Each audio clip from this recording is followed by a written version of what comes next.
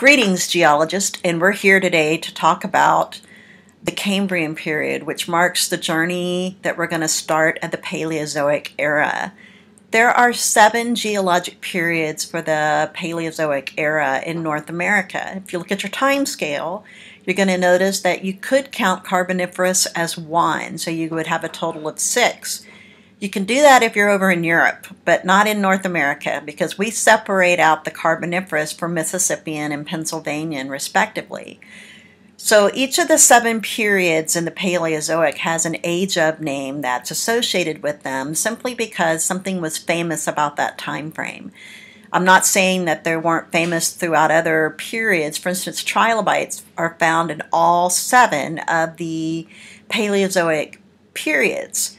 But why are they so important to the Cambrian? Well, let's talk about that. We have over 15,000 species of trilobites identified, described in the rock record, of which I might add all 15,000 plus are extinct, no longer with us. About 75% of them went extinct at the end of the Cambrian period, making them exceptional index fossils for the Cambrian period. They're not the only animals that arrived during the Cambrian, and as a matter of fact, they're just one of many that appeared. And we'll get to that shortly. So let's talk about some of the key things about the Cambrian period and how it even starts the honor of being the first period of the Phanerozoic eon. So where is that dividing line between Precambrian, Ediacaran, and Cambrian rocks that start right here? So the Cambrian is divided into three parts, the lower, the middle, and the upper, known as the late uh, Cambrian. As I've mentioned in prior discussions, if we're talking about early or lower, that means the same thing for a period. It means the beginning. Middle, self-explanatory, and upper or late mean the same thing. So they're the end of a period. So in this case, the Cambrian period begins at 542 million years ago. It wasn't always set at that time frame. It was set at a different marker because the very first occurrence of shelly animals is where the initial marker of the Cambrian period used to be. But in the 1970s, fossils of uh, sponge spicules, brachiopods, and even mollusks were discovered that actually scooted back the initial location of where that particular time frame should be. So a distinctive group of these fossils is going to be important uh, for where we put that marker. That's going to get challenged again when the official setting of 542 million years ago occurred by the International Commission on Stratigraphy. Where is that dividing line and why is 542 the magic number? It has to do with the worm burrows you see to the right there. These particular worm burrows are trace fossils, but they actually mark the very bottom of the Cambrian period now at 542 million years ago. So this period will extend from that 542 million all the way up until 488 million years ago. For testing purposes, you're going to need to know the beginning and the ends of each period and how long that they last in terms of millions of years. That's very easy to figure out when you're taking your test, if you just know the, the finish date of each period, you know the start date of the one in between. So make sure you know what those are because the dividing markers for each period is important. While the time scale may actually change the beginning and the end of each period, the basic time frame will stay the same. What happens in each period is pretty much the same, and so we're looking for a chronology of events that happen throughout geologic time and lots will be happening in a very short, brief period of time as we go through the Paleozoic. One of the first things we need to recognize when we're doing this process of each period is understanding that there's basically two different sets of things we look at in each of these periods. First is we look at paleogeographic information. What does that mean? That means we look at the basic orientation and location of the continental bodies that were present at that time. So some of the continents aren't going to be recognizable to you as what you know continents today. They have changed their location dramatically from where they were back, let's say, during Cambrian time frame. That's due to plate tectonics. What could cause that? Things like mid-oceanic ridges, rifting. So we get these processes that either move crust and bang it into continents, which would be where an MOR pushes in its oceanic crust against a continent, causing a subduction zone, or we get rifting that tears a continent apart. Either case, we can have this constant tug of war where continents are changing their shape and relocating as plates are drifting across the globe over the mantle. So there are six ba major basic continents that existed during the Paleozoic, or at the beginning of the Paleozoic, should I say. They're the leftovers from Rodinia, which actually broke into a second supercontinent if you read your chapter in Precambrian. And these are the six major components that are left. Don't underestimate that there will be dozens of microcontinents, microplates. We still have microplates today. Let me give you an example. Juan de Fuca would be a microplate, and that sits right by Washington State and Oregon in Northern California. Well, that microplate is extremely important to the dynamics of what's going on, geologically speaking, in that region, including volcanoes like Mount St. Helens. So don't underestimate the power of each of the microplates that are discussed sporadically throughout the semester. I'm not going to ask that you know how to spell all these continents. What I'm asking is that you're going to know the basic six and that you're going to recognize that they belong together as the major continents that will assume different names throughout geologic time. Let's focus on two of them in particular that will become the two major groups of clusters of continents by the end of the Paleozoic. So that would be Gondwanaland, which is Gondwana for short, and Laurasia which is also referred to as Laurentia. So Laurentia, let's start there first. That's the modern day North America, Greenland, uh, Northwestern Ireland, and Scotland. Not too hard to buy off on those, but when you take a look at Gondwana, let's look at the surprises there. It's not just one, there's going to be two major surprises, maybe three. So, not hard to buy off on Africa, Antarctica, and Australia, Madagascar, even parts of the Middle East you can buy off on. But Florida, really? India, really? Southern Europe, hmm, not so sure about these things, right? So that means there's a remarkable story of how did these parts of these places, these continents, and Florida in particular, how did it get all the way to North America? When did this happen? So these stories are part of what make historical so fascinating is because these sequence of events occur and the plates merge together and then they split apart. So that's the theme of the Paleozoic is bringing all the continents together to make Pangea by the end of the Permian. So starting by the Triassic, certainly by the end of the Triassic into the Jurassic, the theme is just the opposite. Split them all apart. So you can see there's a theme throughout geologic past. If you bring a supercontinent together, you split it back up. You bring it together, you split it back up apart. That is where we're headed with this. So understand that each period will have two segments that we cover, which is the paleogeographic information, aka where are the continents located at that time, and number two, what were the life forms of that time frame. So during the paleogeographic information, we'll likely talk about any applicable orogenies, which are mountain building events that may occur. We'll talk about important rifting. We'll talk about important uh, landscapes that might have existed back at that time. So we'll get started with that with the Cambrian period. So paleogeographic map looks like this. They come in a lot of different shapes, fashions, and forms, but you can basically see it shows you what the various different uh, types of material were that were being deposited at that time frame. To be clear, let's take a look. This is a really important part of one of the labs that you did in the Sloss sequence was looking at where the transcontinental arch is located and then the uh, Canadian shield. So all this kind of yellow stuff was exposed continent. This material right here, the lighter colored grainy material, that's going to be your shallow continental shelf. And this is ideal for creating uh, stuff like limestone, especially if you're out in this area, way away from the coastline. So right around this section, you should have thick sandstones. If you get into the darker blues, you're going to be into the deep water marine sediments such as shale.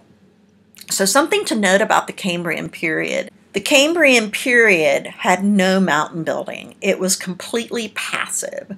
So, if you think back to passive versus active terms, passive means that there is no plate colliding or rifting occurring. So, we have absolutely passive shelves from the southern, western, and eastern margin of the continents. So that means the sea level can come in and invade the continent and will lay down thick sequences of marine strata, which is interesting because we have a big chunk of it that will not get deposition during that time frame, which of course is this section right here, the Canadian Shield and the Transcontinental Arch. Those areas stay above sea level and are extremely weathered and eroded down. So we have a major unconformity that exists in the middle of the continent from the Sauk sequence. So at the end of the Precambrian, during the Neoproterozoic, snowball Earth began to melt. Why did it melt? It started to melt because of rifting, rifting a part of Laurentia and Gondwanaland. And rifting is going to produce lots of volcanic gases and volcanism, and those gases are going to change the chemistry of the atmosphere and the ocean.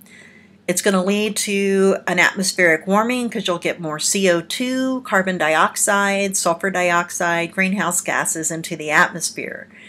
And we also had some movement of continents towards the equator. As this rifting occurs, a brand new ocean called the Iapetus Ocean the Iapetus Ocean is going to play an instrumental role in what happens, especially as we close it up right in this section, as this landmass will end up joining with Laurentia. So this is incredible change because now that we have distance between the continents, we're going to have better oceanic circulation, which moves warmer ocean currents throughout the world, which naturally will also control climate and make it a warmer, more equitable climate. What does this mean for life on Earth? Well, if we're flooding the continents for the first time, wow, these are going to be nice, shallow marine continental shelves. And since so much of our animals live in shallow marine continental shelves, we just made premium real estate for life to flourish. So that will lead us into a discussion a little later about uh, the Cambrian explosion. What was going on with the seas during the Cambrian? So this is part of the paleogeographic discussion of every period. In this case, we began seeing the transgressive phase of the Sauk sequence. Well, the Sauk begins in the Neoproterozoic with the melting of snowball Earth. The major transgressive sequence portion of it really happens during the Cambrian period. So until we had this time, our continents were fully exposed available to be weathered. There are no plants on land to anchor anything to the ground. So the ground is subjected to high concentrations of weathering and erosion. With the passive shelves that we have on all sides of our continent, eastern, western, and southern, the Sauk sequence can invade what we call the North American craton and lead a massive entry into the the middle of the continent. So let's take a look at how far it invaded into our continent. It invaded into the areas where we're going to have this mass that we know of called the Canadian Shield, and then these islands that make up a trail all the way from the Great Lakes down to New Mexico called the Transcontinental Arch. So by the middle Cambrian, the transgressive phase of the Sauk had been in full fledged, and Epeiric seas are encroaching in on the ocean onto the continent. So the ocean had been out here, and now it's starting to work its way into the middle of the continent. So as you start to look at this, we're going to be kind of focusing in this area right here, talking about the Grand Canyon in Arizona. Well, the Grand Canyon has a perfect rock record of this Sauk transition has a perfect rock record of the Sauk transgression, and it leaves behind a, a series of these rock layers starting with the shoreline to the lagoonal environment all the way to the far away from a terrigenous input, meaning far away from a detrital source of material that makes carbonate rock known as limestone. So, what is this continental arch, this transcontinental arch that we keep referring to? It's a cluster of about five islands, and that number sporadically changes throughout the early Paleozoic that are exposed very large land masses. Of course, the Canadian Shield stays fully exposed during the Cambrian, and again, there are no plants, so you have to assume that the amount of erosion and weathering would be significant any of the locations where this transcontinental arch and shield existed. So you should find extreme amounts of sand deposits around these areas. Not only would they be the shoreline beaches, but they'd also be the detrital material that washes off from this continental shield and the transcontinental arch that are going to lay down thick deposits of sand. The further you get away from the Canadian Shield, the less detrital input that you'll have into the rock layers. So you'll end up with some really gorgeous carbonate limestones and facies out here, and then you're going to end up in the deep water shales and rocks of that nature way out where the original ocean used to be.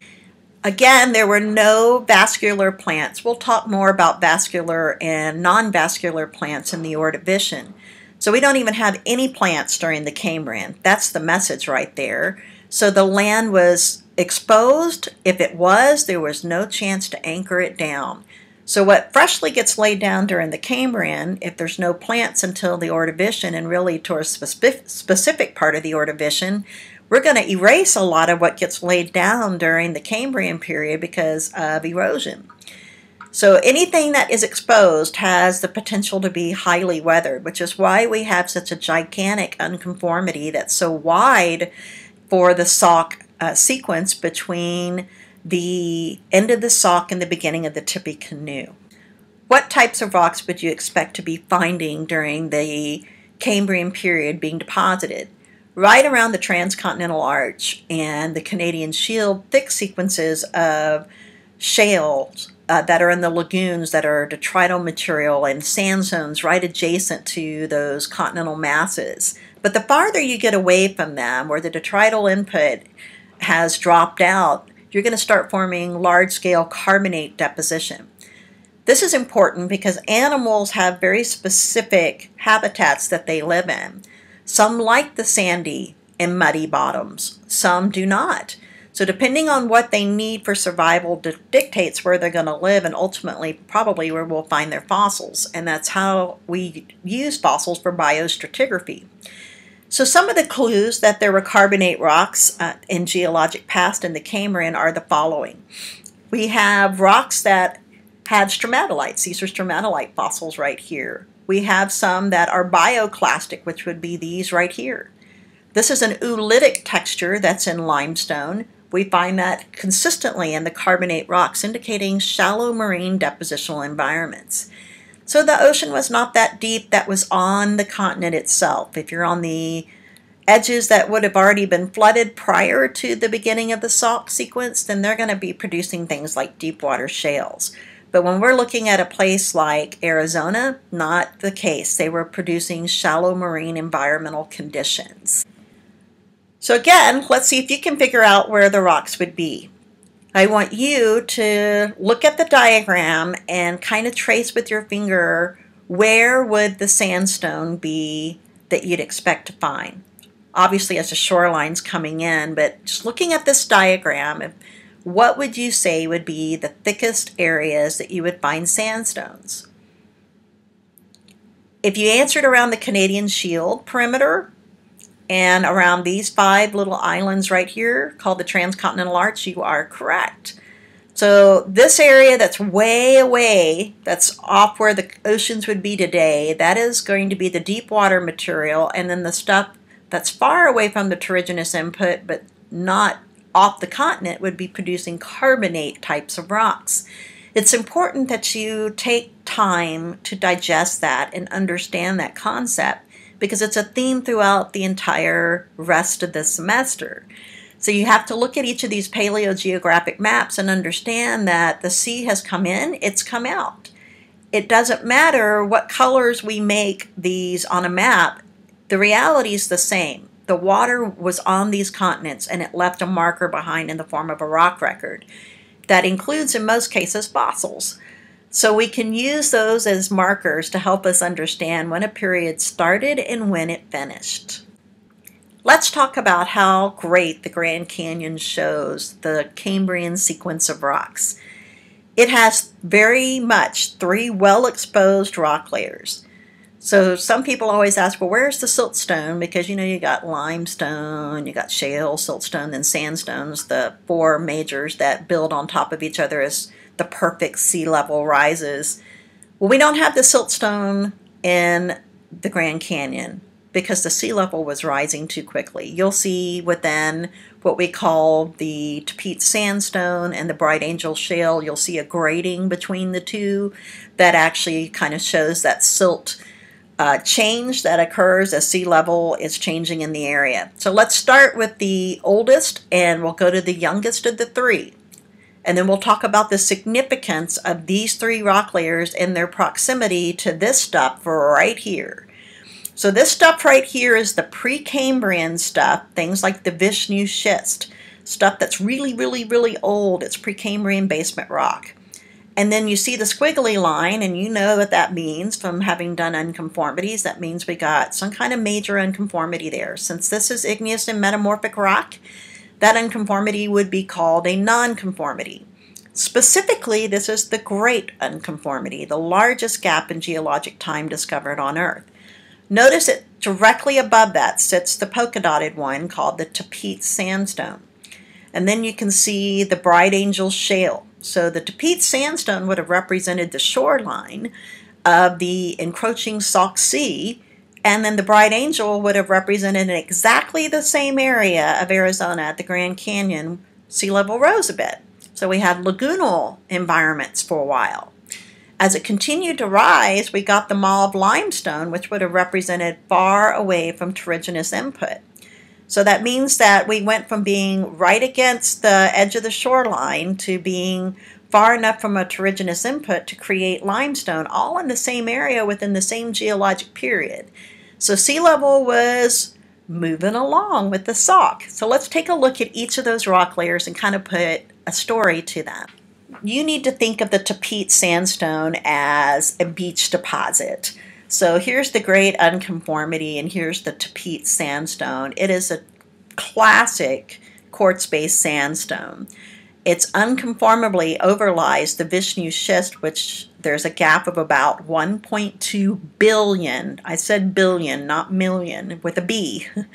So that big gap is one of the most notorious places in the Grand Canyon because you can be hiking on the Bright Angel Trail, and for real, you're on that trail and you step off the Tapeats Sandstone right over that great unconformity into Precambrian aged rocks, and you've stepped over 1.2 billion years of missing time in that rock record.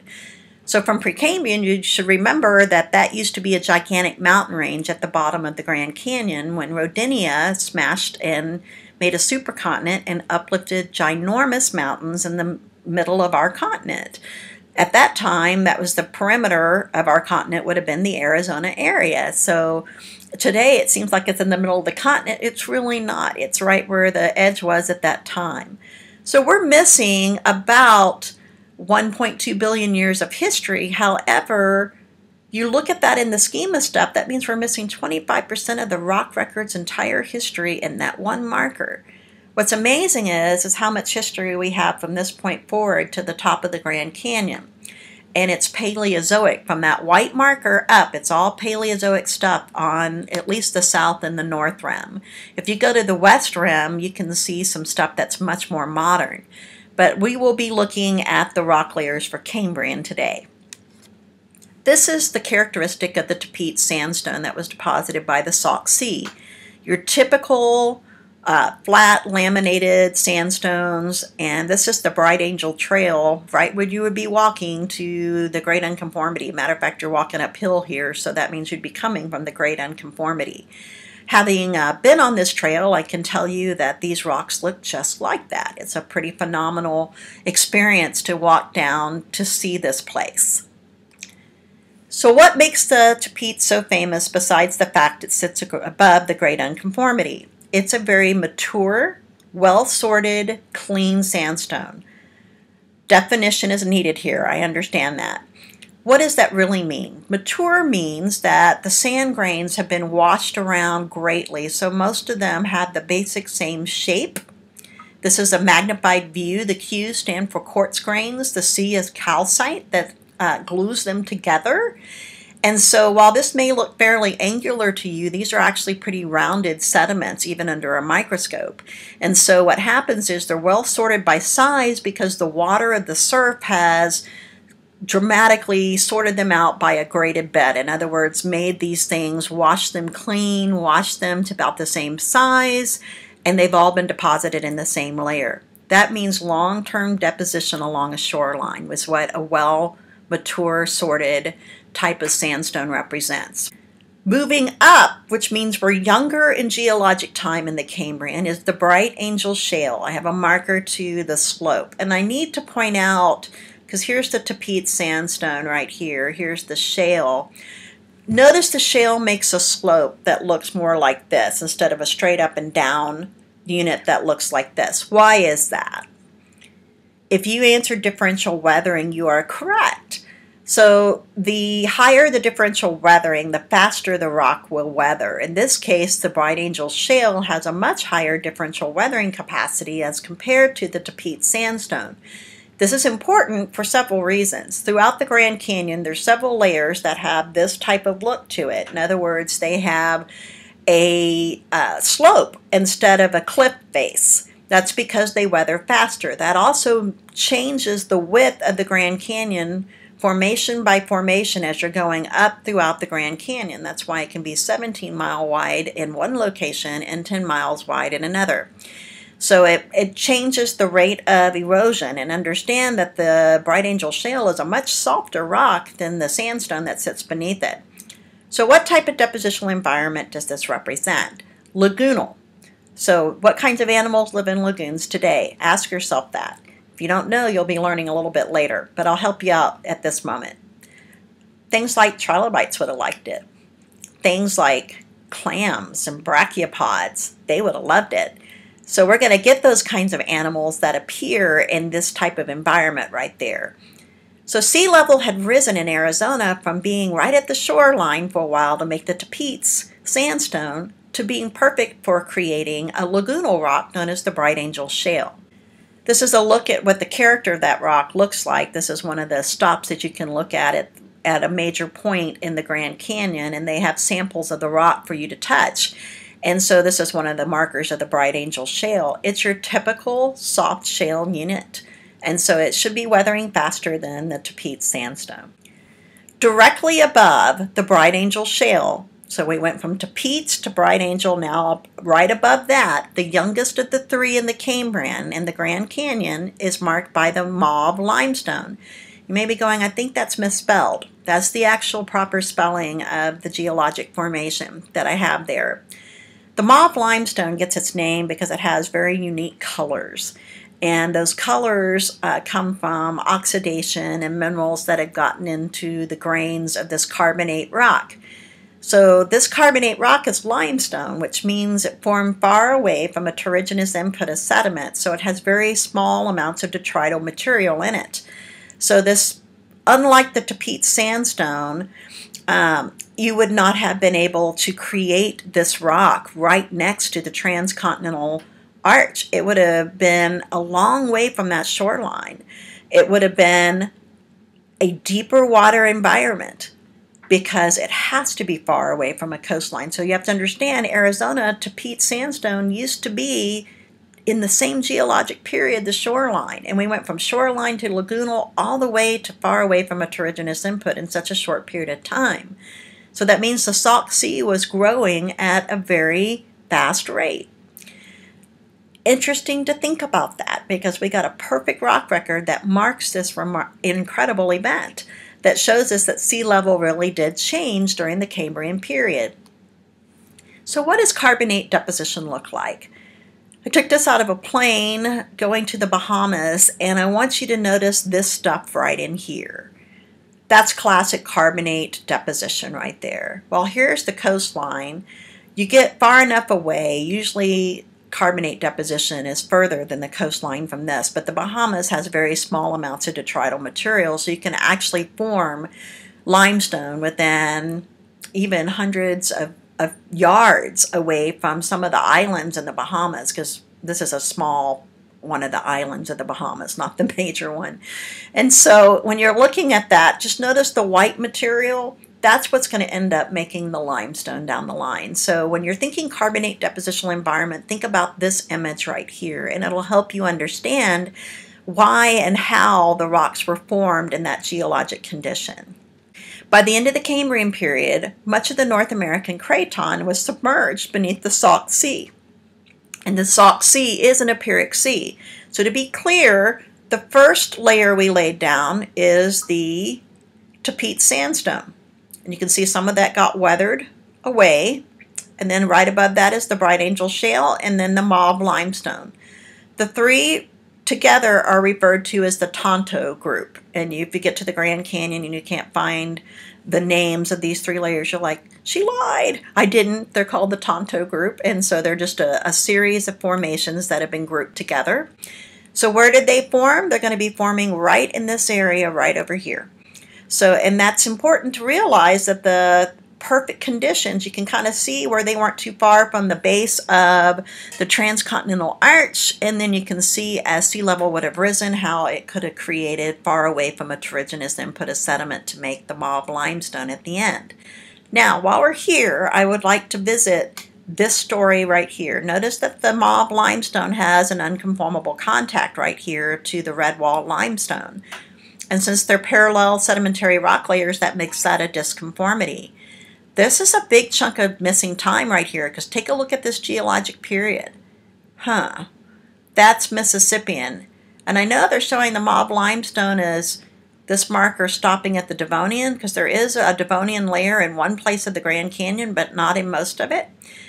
Clearly, these are all three Cambrian periods, and then we skip directly up to the Mississippian, so that means we're missing Ordovician, Silurian, and Devonian rocks. And right above our Cambrian rocks, we have Mississippian rocks. This is one of the most prominent layers of the Grand Canyon because it makes a red ring all the way around it with a cliff face that's straight up and down. So it's an important rock layer to understand. While we're here, I'll point out that we get another group right here of sediments that we'll be looking at later that are Pennsylvanian in age, and then the basal parts of the Permian. But the Permian makes up a big chunk of this flat sedimentary rocks that we have, certainly what caps the top of both the north and the south rim, which is the Kaibab limestone, which is Permian in age. So really, most of the Grand Canyon that we have exposed in terms of horizontal rocks are all from the Cambrian on up through the Permian periods, which constitutes the Paleozoic era. I haven't mentioned it yet, but I should by now y'all should know what that symbol means. That means Cambrian. And most people want to put a C for Cambrian, but C is given to another geologic uh, period, which is the combined Mississippian and Pennsylvanian, known as the Carboniferous. So how many subdivisions of the Cambrian are there? If you're looking at divisions of time, we have uh, four epochs that make up the lower Cambrian, and there's a reason for that because of the appearance of animals that came about in the Cambrian explosion, which was during the earlier lower Cambrian. And then we get the middle Cambrian, which is famous for the Burgess Shale, and then the upper Cambrian, which is a, one of the shorter segments of time, which represented this remarkable end to the Cambrian where we lost most of our trilobites when the Sauk Sea began to regress off the continent. So let's talk about the early Cambrian. This segment lasted about 29 million years, and it's important because this is when we had the Cambrian explosion occur. So as Rodinia ripped it apart and snowball Earth melted, this caused the Sauk Sea to begin to rise and flood our craton among other continents around the world. As this changed the chemistry of the ocean and subsequently the chemistry of the atmosphere, we got premium real estate right on continents for animals to flourish. Understand that trilobites are found worldwide. They are notorious because they are so widespread and so prolific from this time frame. So they're not the only guys to make their first appearance here. Marine predators did too. That's an important thing to note because as in the early Cambrian, quickly we get predators, which means animals are going to have to radiate, adaptive radiation, right? And they're going to have to learn how somehow to evolve to have better ways to protect themselves from predators. Well, shelly fauna helped the shelly animals do that very thing. So that's an, uh, at least a hypothesis as to part of why we think that the Cambrian explosion occurred. So what is that Cambrian explosion? It represents a rapid diversification of animals with skeletons. I didn't mean necessarily phosphate-based skeletons, which we will see some of by the end of the Cambrian with our first fish. But I mean shelly skeletal material, where they mineralize in other words, take minerals out of seawater and create their own shells. So that started somewhere around 530 million years ago. When we start seeing large skeletonized animals, that marks what we call the Cambrian explosion. So when you started to see animals that might have looked like this, well, this may be a cast, it's a cast of a mollusk, a bivalve in particular, these kinds of animals started to rapidly appear that were large, much larger than what we saw in Ediacaran fauna. The first exoskeleton is the marker that we have been using for over 100 years that describes the magic of what the Cambrian explosion was. Well, let's talk about the benefits of having this exterior benefit. What is an exoskeleton? That is the magic question about the Cambrian explosion. These are body exteriors that have been mineralized from seawater. So I'm not telling you we didn't have vertebrates yet. We will by the end of the Cambrian period when our first fish arrives. But these animals started building their own shells. Prior to this, they were soft bodied animals. So a couple of major things happen that are some of the challenges that our animals are going to have to face as they try to move from water to land, and same thing with plants. So let's look at that now. As you have to imagine that these animals are crawling around in areas like Arizona that used not to be covered by an ocean, but they are today. And so the shallow marine habitat you can get a serious sunburn from and you, if you spend any time in somewhere like the Bahamas, you know that to be true. So having this extra benefit of protective cover is going to shield them from ultraviolet radiation in shallow marine environments. That's the very, very first thing, that most important hurdle that they overcame. Number two, they were able to prevent themselves from drying out by putting this coating on their outside of their body. In other words, making a shell. That doesn't sound like a big deal, but what if you're in a tidal flat and you're exposed for hours at a time? And so, with a warming climate, that's important. So, having this coating helped them from desiccating, which is drying out. Number three, as you get this shelly animal, it's going to allow them to have longer lifespans. So, they'll be able to grow and mature. So, that leads to increased body size. And the Number four is the obvious, it helps them stay alive from predators. So if you look at these as a cumulative benefit package for these animals, this just gave them premium chances to fill niches in this new ecosystem that have been developed by the Sauk Sea, putting into the middle of the North American Craton all the way up to the Transcontinental Arch and the Canadian Shield all of that is premium real estate that is freshly covered by this brand new ocean. So that means we got to put the fossils with the correct depositional environment. If you understand where the modern day animals live in an environment like this, like this is the Great Barrier Reef in Australia, then you're going to understand better why and how we classify fossils from geologic past. This information was covered in your textbook in this chapter for Paleozoic. But it's important enough for us to talk about here because it sets the framework for every animal we talk about, especially in the ocean, from this point forward. Let's discuss the specific areas where animals in the ocean would live so you can define them properly and understand the terms that we'll be using for the rest of the semester. Pelagic organisms are those that live in the water column. There's basically two broad categories that they fit into. Nekton, which would be your swimmers, like fish, and then your plankton type animals, which are going to be your free floating animals that float through the ocean water via currents. So that leaves one group of animals untouched that we've not talked about yet, which would be the benthos. Common term for benthos is benthic, and so let's look at benthic organisms and talk about the environments in which they live. Benthic organisms are those that live on the ocean floor. Now, they could also live in the ocean floor. So there's two different types. There's epifauna and infauna. Epifauna means they live on the ocean floor, crawl around on the ocean floor, live on the ocean floor, live on sediment. And then the infauna means they live in or throughout the sediment. They are like burrowers. Sessile organisms are those that live in one place on the seafloor. They don't get up and move. So they're attached to something. They grow from one location. Mobile animals are those that actually have the capabilities to move around. So that determines, for example, many animals that fall in this category are going to be things like clams things like brachiopods, things that don't have the ability to move. They're anchored to the substrate. But you get something like a crinoid, which you'll learn about. They can actually have these little feet that allow them to get up and move around, so they'd be mobile. So it makes a difference on which type of animal we're talking about as to which type of environment that they would live in. The marine food chain is very predictable in terms of how it works. It starts with sunlight providing energy necessary to make things like uh, dinoflagellates and radiolarians and diatoms, the ability to photosynthesize. So most of these are microscopic animals that are phytoplankton. They're things that float around in the ocean water, so they're pelagic, and then they're fed on by primary consumers.